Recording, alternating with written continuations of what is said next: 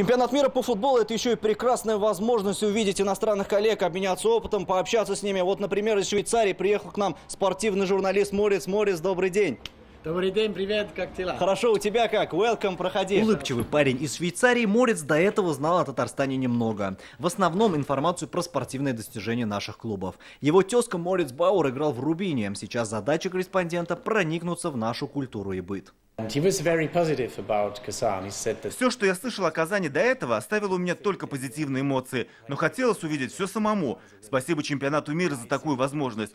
У вас здесь все на высшем уровне, чувствуется, что вы радуетесь жизни. Морец чувствует себя здесь как дома, еще бы корни молодого журналиста связаны с татарами. Сегодня в Женеве существует целая татарская диаспора, в которой числится 200 человек. Практически все они являются представителями новой волны миграции прабабушка, либо прапрадедушка, они были рождены в Швейцарии, но у них есть э, корни из Татарстана, татарские корни.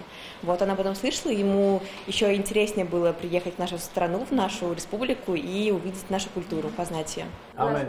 Maybe 40 minutes. That's good. 40, yeah. Швейцарского журналиста интересует все, что связано с татарами, начиная от спортивных увлечений президента, заканчивая языковыми и религиозными особенностями нашего региона. В Америке, Австралия. вы знаете, Австралия, их очень много везде. Uh-huh. А, они есть и во Франции. Uh-huh. А, самое, а, самое, знаете, вот скажем, одна из крупных и диаспора, которая сохраняет язык и культуру, это, конечно, Финляндия.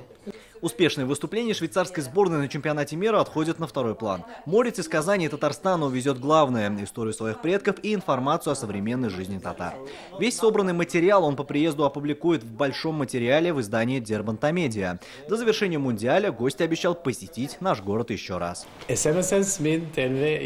Алмаз Гафиатов, Марат Саидгараев, ТНВ, Казань.